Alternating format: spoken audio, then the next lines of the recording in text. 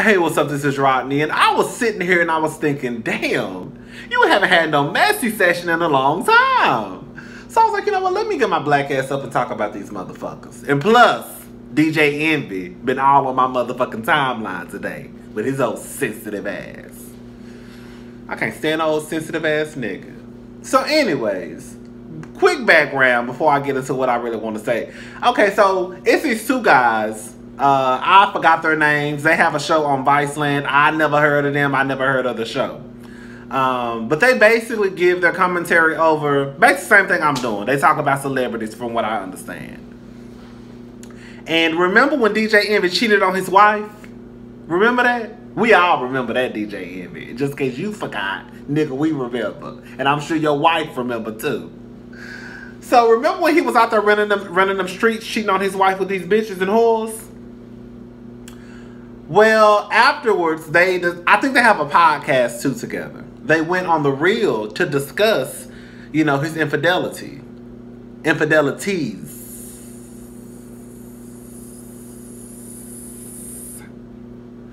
So they went on the real to discuss what happened, and basically, long story short, one of the guys cracked the joke, or I think both of them cracked the joke, basically saying that Gia, I think that's her name, Gia. I've been calling the girl Gia for the longest Gia uh, stayed with DJ Envy for that coin, for that Breakfast Club check. Okay? Um, let me just say this much.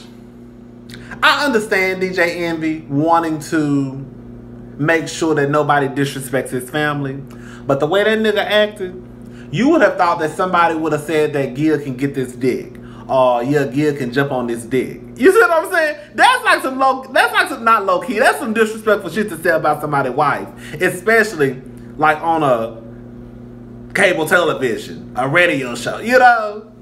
So I'm just like, okay, he. Uh, DJ Envy. The reason why people are cracking jokes and talking about your wife and calling her stupid and calling her crazy is because you, nigga, you decided to go out there and run the mother motherfucking street with these whores and make your family the butt of the motherfucking jokes. And now you're mad. Didn't nobody disrespect your wife. You disrespected your wife. You disrespected your kids. You, nigga, disrespected your family. What that boy said was not that deep and not that serious for you to be cutting up the way you cut up. Girl, you done got your panties in a bunch. You done left your job. Girl, I'm thinking he going to the ladies' room to go take a piss. Girl, they laughing and shit. They cracking jokes on DJ N because this motherfucker done walked out of the interview. Girl, you not that mad, girl. You are not that mad. You might be irritated. I could see if you pull them to the side Oh, okay. Even addressed it on the air like, "Hey, I didn't, I didn't appreciate you saying that about my wife, insinuating that she's a gold digger." Move on.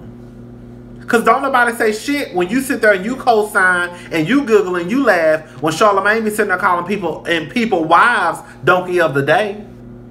The same way these other men probably get upset that Charlamagne is on a worldwide national radio show disrespecting their wife, calling their wife out their name, and your ass sitting there co-signing like you did with Mo'Nique. If you want that respect, nigga, give it. That's all I'm saying. If you want nobody talking about your wife, don't talk about nobody else's or giggle, or giggle about nobody else's, bitch. Now, the truth of the matter is that check is a part of the reason why she stayed. Now, I'm not going to sit here and say that's all the reason why she stayed. Because I understand they've been together a long ass time. So I can understand that's a hard situation to walk walk away from. And a motherfucker's got like 17,000 kids. So they got 17,000 kids and they've been together since, I mean, shit, since, I almost said something real tacky. They've been together a minute. They've been together since, girl, like, teenagers. 12 and 13 or some shit like that. Some, some they've been together a long ass time. Um so I get it.